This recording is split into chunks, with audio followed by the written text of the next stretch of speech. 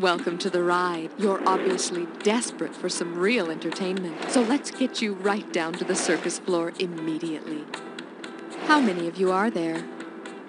One player? Good. Competition only slows down the game. Are you a first-time rider? Ah, yes, they always come back. I need you to type in your name now. Gee, you have beautiful eyes. If you feel like buzzing, use the letter B. Take your seats and enjoy the show. And don't get cotton candy all over the keyboard.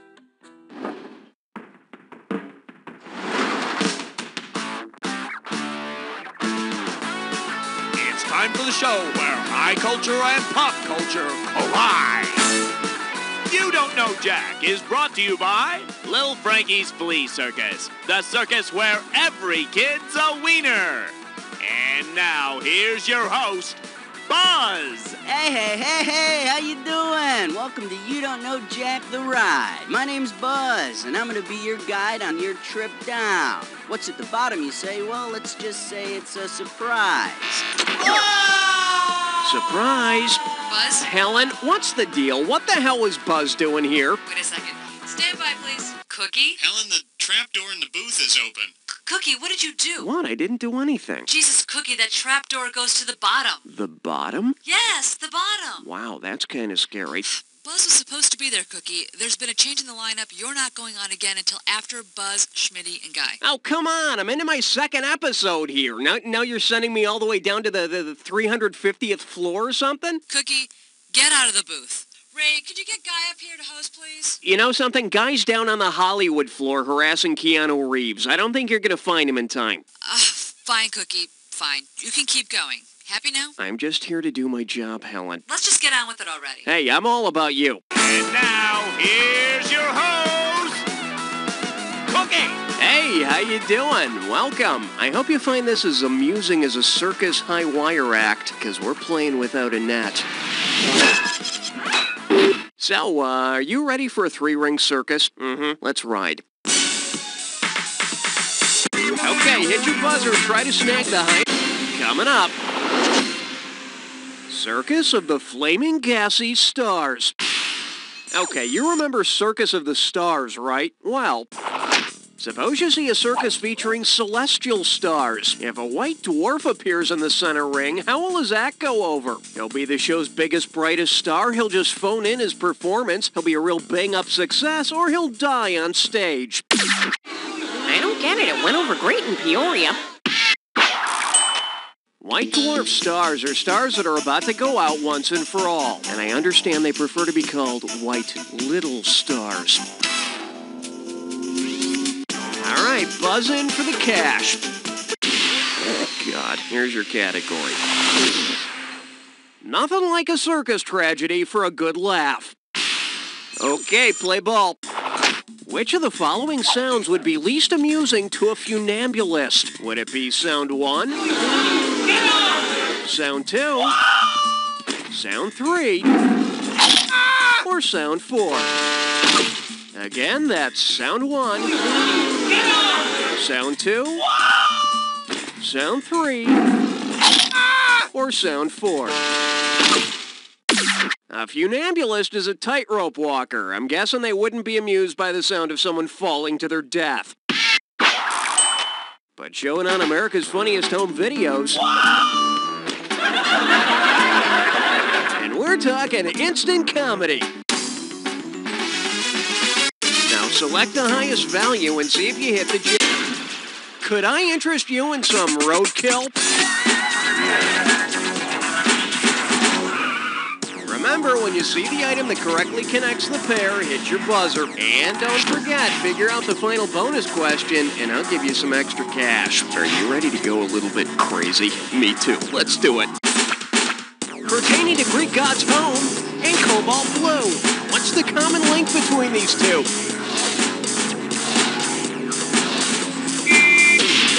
Score! The woman wears white and close association.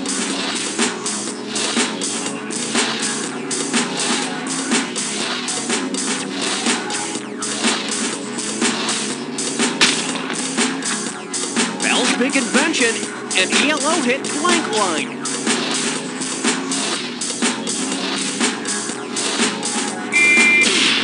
Score!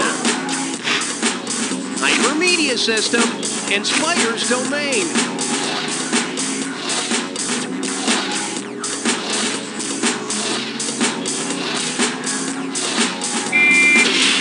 Score!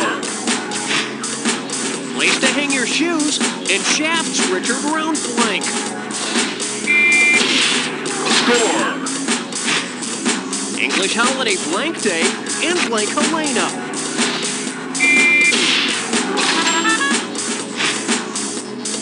Military officers and orchestra section.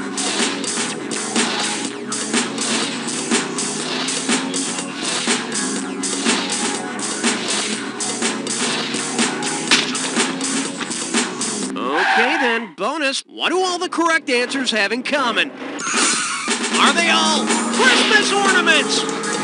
Kinds of flies? Types of rings? You nailed it! Rack it up! Yeah, give me a ring sometime.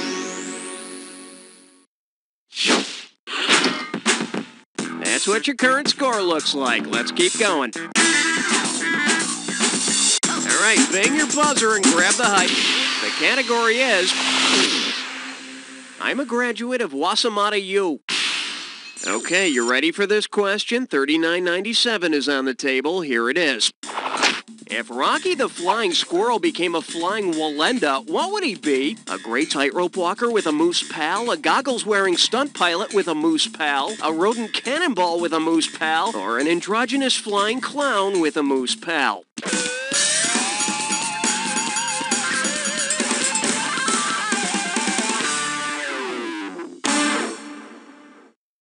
You should have picked this. The Flying Wallendas are a legendary family of circus performers most famous for their tightrope walking. Unfortunately for Rocky, if he were a Wallenda, he'd probably also be known for falling off of said tightrope.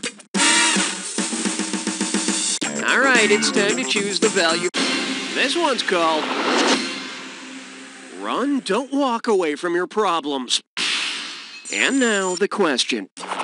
Who would be most likely to run off and join the circus circus? A free spirit who wants to sing on Broadway? A restless... Good bet. Circus Circus is a Las Vegas casino. They've got an amusement park there, a hotel, restaurants, circus acts, everything for the quiet loner who doesn't like quiet or being alone. Okay, buzz in and lock onto the highest value you can. I like to call this category I'm so mad I could toot. You ready? Let's go. If you're angrily playing the organ-like instrument known as the calliope, what is the most accurate way to describe what you're doing? What the hell is wrong with this damn piece of mother damn sucker? A calliope is a steam-powered musical instrument, so you be blowing off steam. But you just can't stay angry for long when you're playing a calliope, now can you? Hit your buzzer to choose the value of the next question. Okay, give it up for... Boy, did you Piccadilly. Let's get going. If London's Piccadilly Circus were actually a circus, who would be the ringmaster? The god Eros, Lord Nelson, Queen Anne, or St. Paul? In the center of Piccadilly Circus is a fountain statue of a little winged guy. The statue is known as Eros. And if you like clowns, you'll love Piccadilly. There are clowns everywhere. Clowns who shop and have funny hair. Okay, select. We're calling this one. Any palomino is a pal of mine. No. Let's see that question. Say Ringling Brothers actually had a unicorn in their show. According to legend, who would have captured it for them? A trapeze artist of noble blood, a pure of heart lion tamer, a blind strongman, or a virgin ringmaster? According to legend, unicorns can only be captured by virgins. Well, duh. I mean, who would you go to if you were a horny horse? Hey, your category is the greatest math test on earth. You've heard P.T. Barnum's famous quote, there's a sucker born every minute, right? Well then. Um, how many suckers were born last April? 1,440, 43,200, 864,000, or 2,592,000? No, that's how many suckers were born last April Fool's Day. In case you're wondering, 60 minutes times 24 hours times 30 days means 43,200 suckers. Of course, since 1871, when Barnum started his circus, there have been about 62 million suckers born, which pretty much explains the Midwest. Oh, what? That joke killed him in Peoria. Hit your buzzer. Coming up. Always remember to keep your barker on a leash. Hey, you know carny is slang for carnival worker, right? Because they have a carny, which group would you expect to try to... Wilson Phillips has a Chynna, a Wendy, and a carny. And how do they guess your weight? They hold on. you, you, you see, that that's the name of their big hit song, Hold On.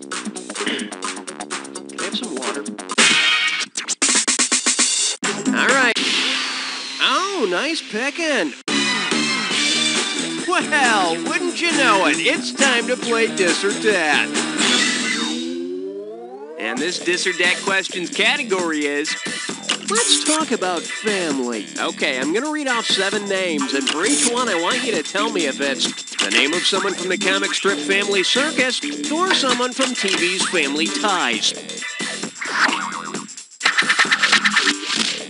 Each right answer, you get some cash, and you lose cash for a wrong answer or any you don't get to. Okay, you got 30 seconds to nail all seven. Let's do it. Jackie, Family Circus. Mallory. Billy. Skippy. Jennifer.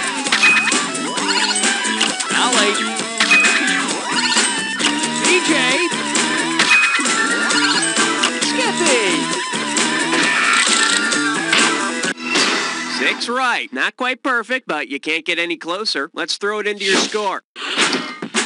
All right, there it is. Let's keep moving. All right, buzz in for... Okay, give it up for...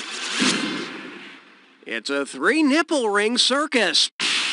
So, have you heard about the bizarre spectacle known as the Jim Rose Circus? They were part of Lollapalooza, for instance. Well, anyway, Say you attend the Jim Rose Circus for some wholesome entertainment. When you leave the show, what's the one thing you'll not have learned about the human body? A penis can carry the weight of two irons, a woman can pleasure herself orally, an adult body can fit through a tennis racket, or it is possible to drink the same beer twice. No, an adult body does go through a tennis racket. Oh, come on, don't get mad again. All right, let's take a look at the right answer. You know, the Jim Rose Circus provides a lot of unique entertainment, but uh, that particular act is not part of it. Okay, folks, let's hear it for Spineless Susie. And remember, ladies, do not try that stunt at home. Yeah, right. All right, bang your butt.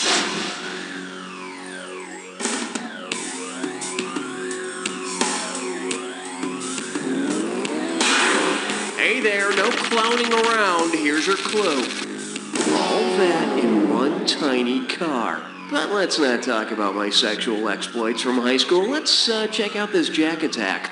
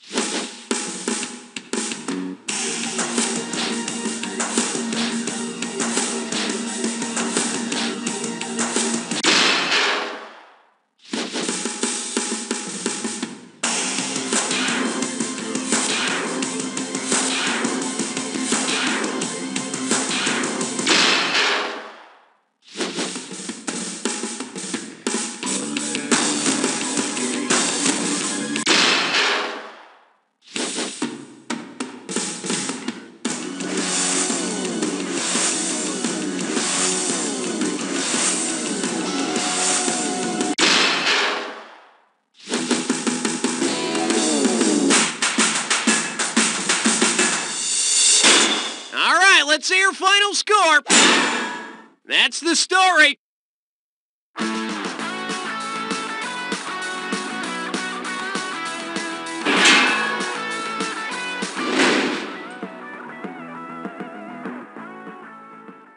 Playing solitaire on the computer is fun, right? But it's hard to remember all those rules. Now there's a computer card game that gets back to the basics. 52 card pickup 2000. That's right. 52 card pickup 2000 does all the work by throwing the virtual deck all over the virtual room. Whoa! There are cards all over the place. You know what to do next. Here's the four of clubs under this couch. I'm gonna pick it up. Wow, there's three or four under this table. I'm gonna pick them up. You can play by yourself or set up exciting tournament play. With your web browser, you can even play other people across the internet. It's simple, it's repetitive, it's 52 card pickup 2000. You'll wonder why you ever owned a real deck of cards. Who has time to cook? We don't. We're Sam. And Ella. And we want to invite you down to Sam and Ella's. So you can get you and your family a good home raw meal. Sam and Ella's eats to Celia's runny eggs and chickens. Good and raw mayo from a straw. We'll do the finger lickings. We got frog legs and yeast and dry gelatin. You'll uke till you puke in our dirty kitchen. Acute symptoms may last for one to two days, or maybe prolonged again, depending on host host factors factors. and strain characteristics. Salmonellas fill your bellas with spore-forming bacteria. Animal feces, all your favorite species, slides down your throats like chum. Yum! Hey, what's the matter, Jimbo? Uh, I couldn't afford to keep my cell phone. Now driving without being on the phone feels weird. Have to pay attention to the road, huh? Yeah. Try this. What's in the bag? It's a cell phone substitute. Put it on. I can't see anything with these blinders on. No. I see. It also comes with a five-year-old child. How come horses don't have toes? Why do we pee? Who's that? Where are we going? Me, me. Wow, it feels just like using my cell phone. not yet. Do you have a hands-free phone? No. Oh, then we have the head-to-shoulder strap. Wow. How come your head is sideways? With my head fixed to my shoulder, an incessant noise in my ear, and my eyes distracted from the reality around me, I feel just like I'm using my car phone, but I'm not racking up any airtime. Hey, we better get to work, buddy. You're right. Speed up. You can't see them, but there's some people riding on bikes just up ahead. then let's go.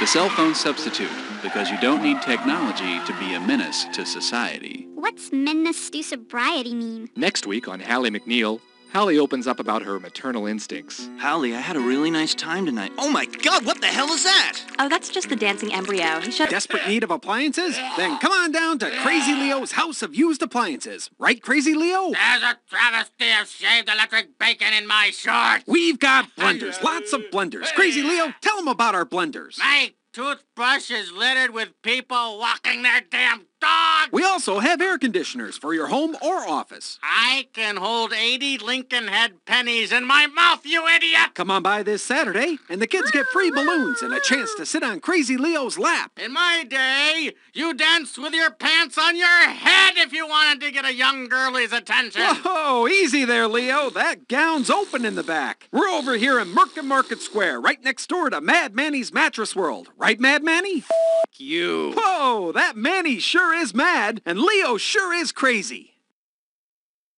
How come everything tastes like jello to me, gravy boy? From the pure mountain spring waters of Colorado to the whispering wheat fields of Montana comes whole, natural, yummy goodness. Whole, natural, yummy goodness comes in 846 nature-bursting flavors, including brand new sparkling flavin. Whole, natural, yummy goodness is made with the freshest ingredients known to science. If wrapped and stored in a cool, dry place, whole, natural, yummy goodness will become a treat passed on for generations. Whole, natural, yummy goodness from Mother Nature to your table via our laboratories. Whole, natural, yummy goodness from Organico, an Arthur Daniels Heartland company.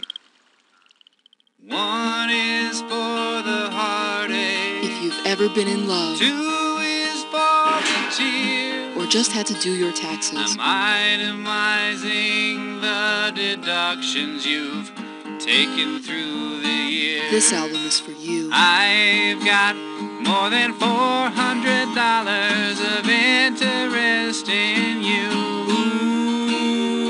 Then I showed her my long form check here. As sweet as your first kiss.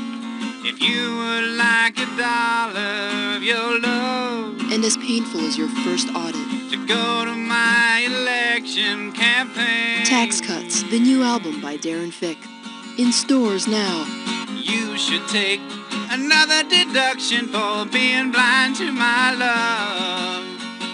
Hey, Aunt Shannon, I just found a pork shoulder underneath that tree. Well, ain't you the lucky one? Here at Aunt Shannon's Meat Pickers Farm, we grow only the freshest kinds of meat. Hey, Aunt Shannon, I just pulled this leg of lamb out of the dead pile. It's still got wool on it and everything. Looks like someone's getting a new pair of mittens and a full belly. Bring the family and spend the day. Aunt Shannon, I'm gonna pick my dinner right out of the cow tank. Which one you gonna eat? That one over there, with the big rubber band around his horns. He's a big un. Come on down to Aunt Shannon's Meat Pickers Farm right next door to the Agrichem Lab.